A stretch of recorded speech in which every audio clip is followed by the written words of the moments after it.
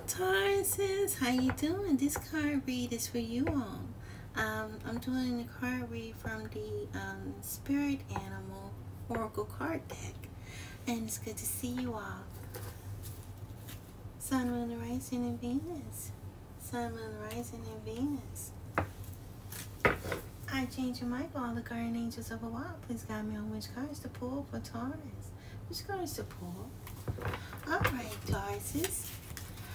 Um, I also want to let you all know that, you know, my sceneries is available on YouTube. It's the same name, Kimberly Purpoz.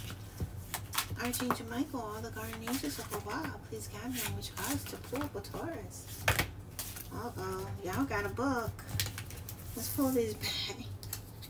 You can do a book, you guys. Archangel Michael, which cards to pull? Which cards to pull for Taurus? Y'all still got a book.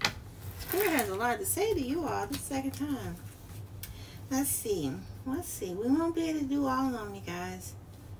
Um, because pressed for time with um TikTok. So we'll be quick with I just pick out a few and I'll probably do an extended read with you all.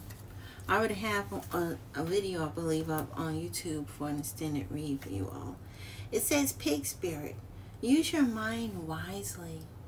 Um, I I guess this landed in a past that maybe um, you tend to overthink things or over over over analyzing.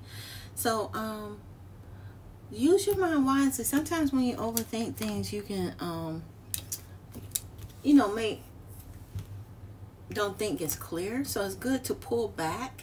Just relax, clear your mind, and then come back to it when you're more clear. Also, Deer Spirit says, bring a gentle touch gentle touch to things. You know, be gentle to yourself. Also, it says Frost Spirit, clear out the clutter. Some of y'all might have some clutter going on right now. This landed right here in the present. So some of y'all may need to clear out your house, clear your office. If you have a desk, you know, make sure it's clear and you clean it out. You know, you can focus better and uh, get things done better when you're more organized. Watch and wait. Watch and wait. So be more patient. Maybe y'all are jumping to conclusions or um, want to make decisions now. But this card says to watch and wait. Um, to take your time. Also, I'm getting these cards messed up. It says Spirit has a plan. Spirit has a plan. So make sure you um, follow Spirit on all the decisions you make.